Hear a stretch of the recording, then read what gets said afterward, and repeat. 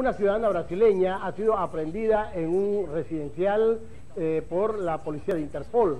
Según se sabe y según las investigaciones, la embajada brasileña, del Brasil habría sido quien habría atentado una denuncia donde se está investigando un supuesto tráfico, eh, eh, trata y tráfico de personas. La ciudadana brasileña aprendida en cuestión está indocumentada y la policía ya comenzó la investigación.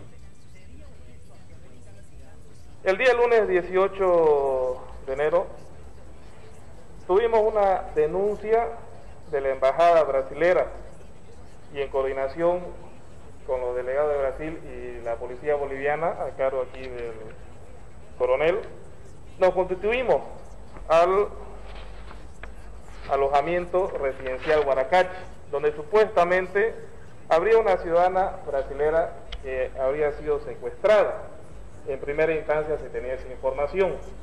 Es por eso que personal de trata y tráfico nos constituimos al lugar y se logró dar con la señorita de 19 años de nacional brasilera, la misma que habría sido trasladada desde la ciudad de Corumbá.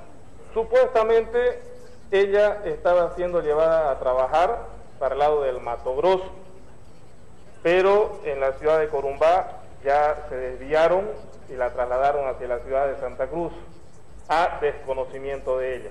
En Brasil, en Brasil la denuncia está por un supuesto secuestro, pero en ningún momento han pedido, digamos, dinero o algo a la familia. Estaba sola.